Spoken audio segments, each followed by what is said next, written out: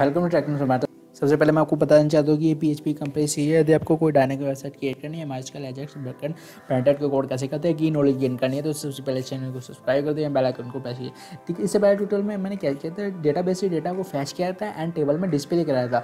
तो ये आपका पार्ट थ्री है। यदि आपने पार्ट वन पार्ट टू नहीं देखा तो आपको ये समझ में नहीं आएगा। तो सबसे पहले पार्ट वन देख लीजिए, फिर पार्ट टू देख लीजिए लिंक आपको डिस्क्रिप्शन में मिल जाएगी। तो एप्लीकेशन का आपका नेक्स्ट पार्ट आता है, आपका एडिट करना। तो डेटा को अपडेट करना, या एडिट करना आपका सेम ही है तो डेटा को अपडेट करते हैं, चलिए।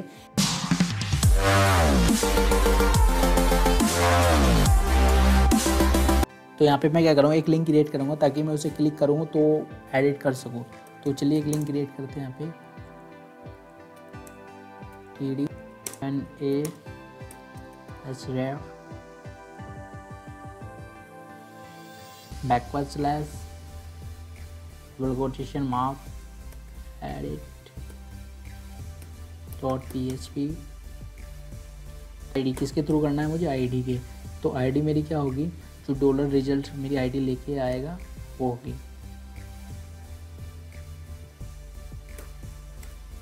बैकवर्ड स्लैश ठीक है? तो यहाँ पे मैं क्या करता हूँ? एक बटन क्रिएट कर लेता हूँ। इनपुट टाइप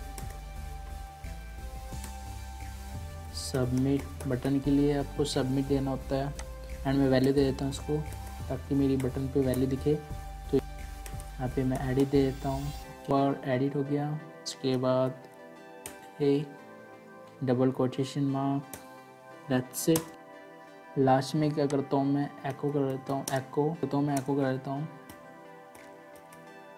मैं टेबल रो को यहाँ पे क्लोज कर देता हूँ। प्रॉपर के एंड टेबल को यहाँ पे क्लोज कर देता हूँ।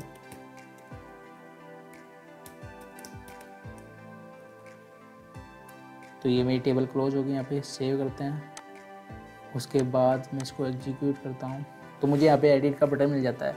तो जैसे ही मैं एडिट पे क्लिक करता हूँ तो मेरी ये आई डी वन है, ठीक है? जैसे कि आप देख सकते हैं आई डी वन है, ठीक है? एंड ये आई डी आपकी होगी आई डी ज़ीरो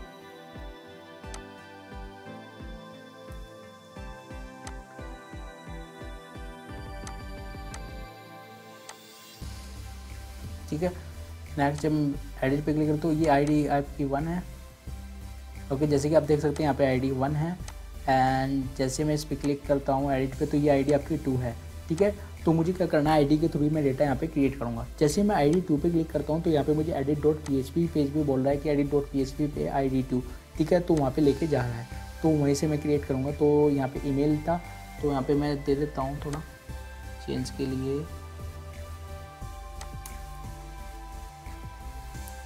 चीज़ यहाँ पे मैं देता हूँ update okay update and then मेरा ये प्रॉपर हो गया. ठीक है? तो एडिट करने के लिए मुझे क्या करना पड़ेगा? जैसे कि मैं यहाँ पे क्लिक करता हूँ एडिट तो यहाँ पे मुझे शो करा रहा है edit dot P H P ठीक है? Question mark I D two तो यहाँ पे मुझे प्रोवाइड कराना पड़ेगा आपका वैल्यू तो यहाँ पे मुझे क्या करना पड़ेगा? यहाँ पे मुझे एक edit dot P H P के नेम से एक फ़ाइल क्रिएट करनी पड़ेगी. तो control N S edit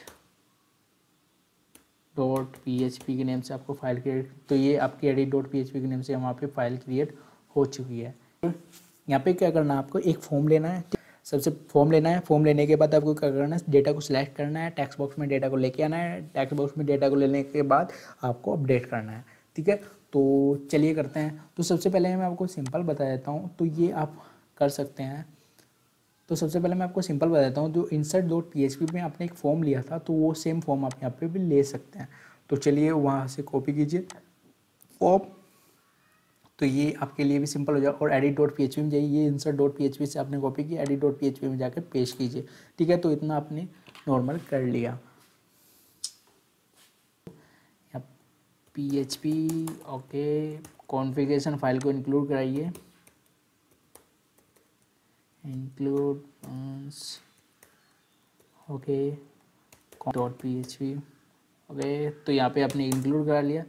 इसको रिमूव कीजिए एक बार एंड मैं पे एच टी एम एल ले लेता हूँ H T M L and यहाँ पे बॉडी में लेता हूँ फॉर्म कंट्रोल एक्स फ़र्स्ट लेता हूँ ओके तो ये मेरा प्रॉपर हो गया। उसके बाद मैं क्या करता हूँ, यहाँ पे डेटा लेके आता हूँ। तो डेटा लेके आना पड़ेगा। तभी तो ये जाके इंसर्ट होगा ना तो डेटा लेके आते हैं। डॉलर रिज़ल्ट ठीक है? एक फ़ंक्शन यूज़ करते हैं मास्केलाई क्वेरी ओके उसके सेम वेरिएबल आएगा, जो कि मैंने कॉन्फ़िगरेशन फ़ाइल में क्रिएट किया था, और यहाँ पे आपकी सिलेक्ट क्वेरी परफॉर्म होगी सिलेक्ट एस्ट्रिक्स फ्रॉम फ्रॉम यहाँ पे आपको टेबल का नेम देना पड़ेगा डिटेल्स ठीक है? यहाँ पे आपको ऑर्डर देना पड़ेगा तो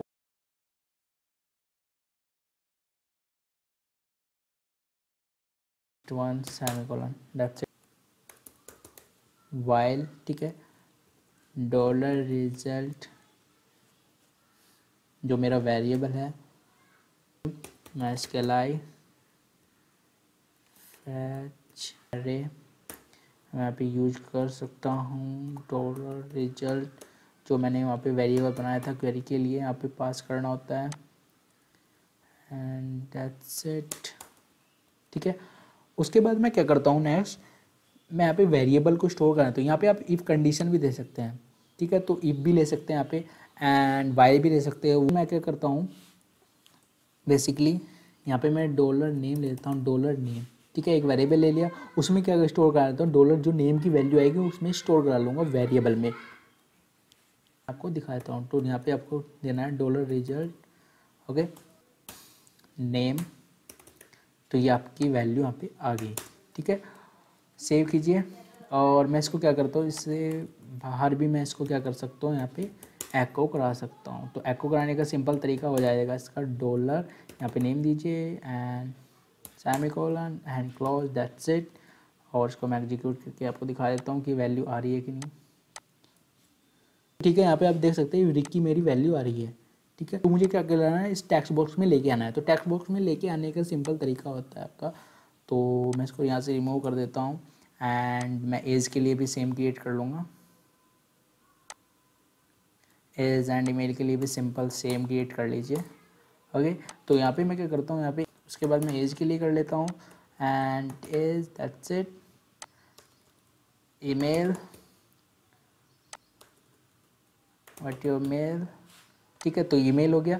उसके बाद मुझे इनपुट बॉक्स में आना है। तो मुझे वहाँ पे वैल्यू चाहिए। तो इनपुट बॉक्स में वैल्यू के लिए मुझे क्या यूज़ करना पड़ेगा? यहाँ पे वैल्यू ठीक है तो वैल्यू यूज़ कर लीजिए। यहाँ पे पीएचपी ओपन कीजिए। ताकि मैं यहाँ पे एको कर सकूँ किसको? डॉलर नेम ठीक है तो ये आपके लिए सिंपल हो जाता है कि मैंने वहाँ पे आपको बताया था नॉर्मली करके कि एको कर सकते हैं आप। तो यहाँ पे मैंने क्या किया? इनपुट बॉक्स में नेम को एको कराया। किसके थ्रू आईडी के थ्रू ठीक है तो रिक्की आ चुका है, ठीक है? तो ये हो गया। उसके बाद मुझे सेम ही प्रोसेस फॉलो करना है एज के लिए और ईमेल के लिए। तो मैं इसको कॉपी कर लेता हूँ। Paste save time paste okay तो यहाँ पे मैं चेंजेस कर देता हूँ। एज एंड मेल सिंपल और उसके बाद मैं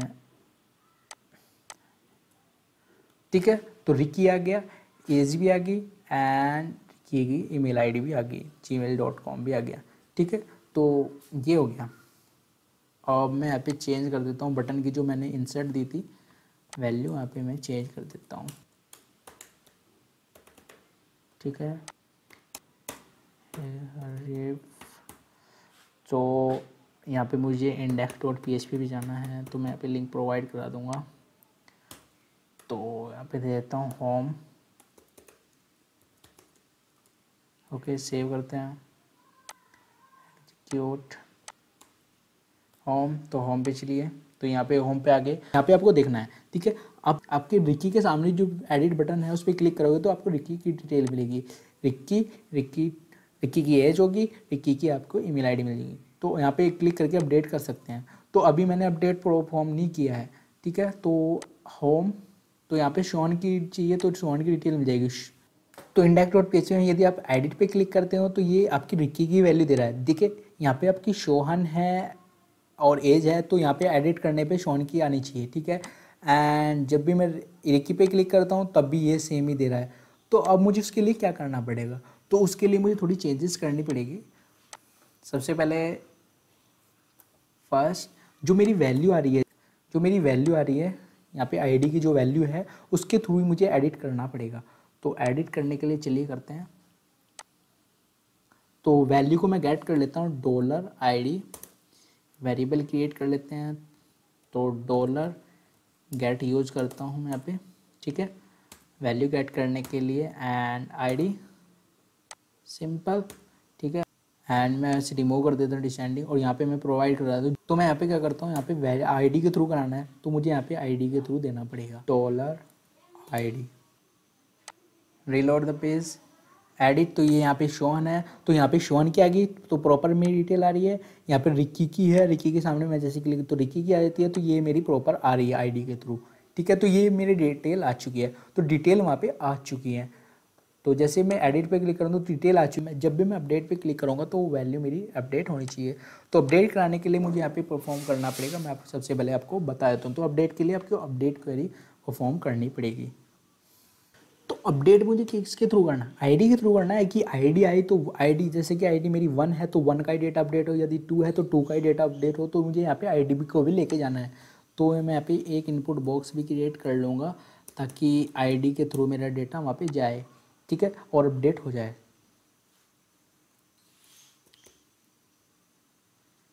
इनपुट टाइप में उसको हिडन दे देता हूँ, इसकी ज़रूरत नहीं है मुझे शो कराने की।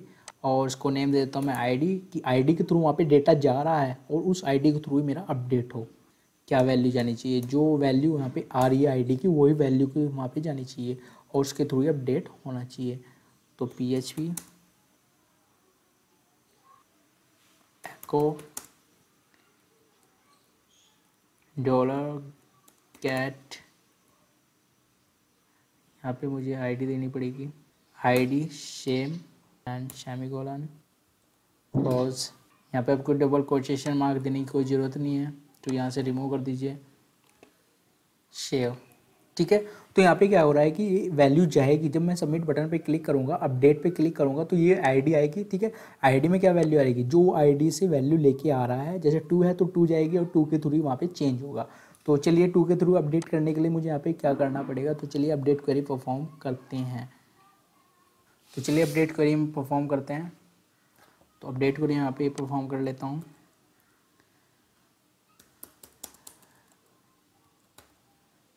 तो आपका इंसर्ट का और अपडेट का थोड़ा सेम ही होता है, बस क्वेरी चेंज हो जाती है। नेक्स्ट मैं बता देता हूँ इंसर्ट का और अपडेट का अब सेम ही होगा। तो इंसर्ट से जो कोड आपको उठाना है सेम प्रोसेस जो सेम होगा, वो आपको बता दो। तो चेंजेस का मैं आपको बता दूँगा कि आपको चेंजेस कैसे करने हैं। तो ठीक है, ये इंसर्ट का जो भी पीएचपी का कोड है, यहाँ से मैं इसको कॉपी कर लेता हूँ। तो सेलेक्ट ऑल कोड तो ये मैं कॉपी कर लेता हूँ, जिससे कि आपका भी टाइम सेव हो और मेरा भी टाइम सेव हो। तो कॉपी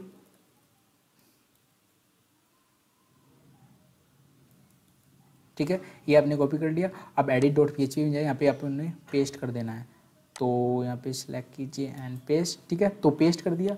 इफ़ इस सेट यहाँ पे आपने सबमिट दिया है तो सब, यहाँ पे सबमिट है प्रॉपर है। नेम है नेम की वैल्यू आएगी एज की वैल्यू आएगी ईमेल की वैल्यू आएगी, ये तो आपको सेम रखना है। ठीक है? डॉलर रिज़ल्ट अपने वेरिएबल बनाया, ठीक है? अब यहाँ पे आपको चेंजेस करनी है।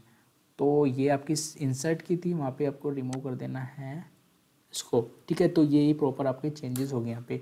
तो यहाँ पे आप डेट की क्वेरी चलानी है। तो डॉलर सबसे पहले आपका माई स्केल आई ठीक है? एंड डेट्स इट इसके बाद यहाँ पे आपको परफॉर्म करना है अपडेट की क्वेरी तो अपडेट सेट किस टेबल्स को डिटेल्स को, ठीक है? तो डिटेल्स को आप अपडेट कर रहे हैं तो डिटेल्स सेट सेट कीजिए यहाँ पे। यहाँ पे आपको सेट करना है तो नेम कौन सा है जो आपका वेरिएबल लेके आ रहा है? तो कौन सा वेरिएबल वैल्यू लेके आ रहा है? न्यू डॉलर नेम तो डॉलर नेम यहाँ पे वैल्यू लेके आ रहा है न्यू अपडेट होने के बाद। ठीक है। एज डॉलर एज लेके आएगा value email equals to dollar email लेके आएगा वैल्यू ओके एंड क्लोज हो गया। ठीक है? उसके बाद ID equals to dollar ID ठीक है तो ये आपके प्रॉपर हो गया। सेमिकोलर डेट्स इट तो मैंने यहाँ पे क्या किया?